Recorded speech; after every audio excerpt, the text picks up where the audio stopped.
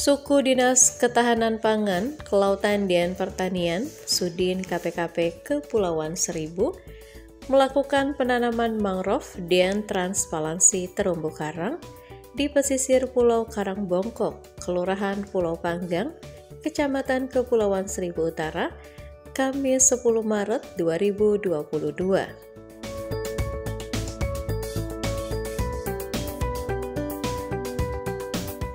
Kepala Sudin KPKP Kepulauan Seribu, Devi Lydia mengatakan, kegiatan penanaman mangrove dilakukan di tubir sebelah barat dan transpolasi terumbu karang di sisi utara.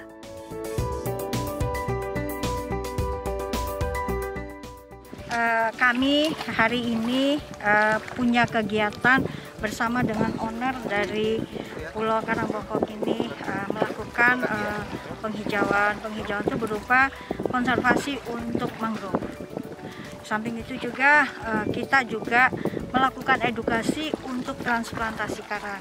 Jadi uh, pulau ini sepertinya ingin melakukan uh, tempat wisata yang sifatnya konservasi, sifatnya ke alam laut. Jadi hari ini kami bersama mereka berkolaborasi, kolaborasi uh, melakukan konservasi kita tahu uh, vegetasi dalam pesisir pantai ada lamun, ada terumbu karang, ada mangrove, nanti di pesisirnya ada kelapa. Jadi konsep itu pemiliknya pengen membuat konsep seperti itu dan kami mendukung karena itu sifatnya uh, tanggul alami untuk suatu pulau.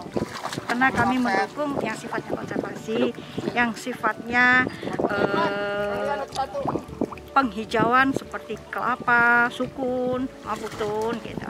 Kami akan mendukung itu. Nah, memang itu konsep alam yang sangat baik, sangat uh, indah kita kembangkan.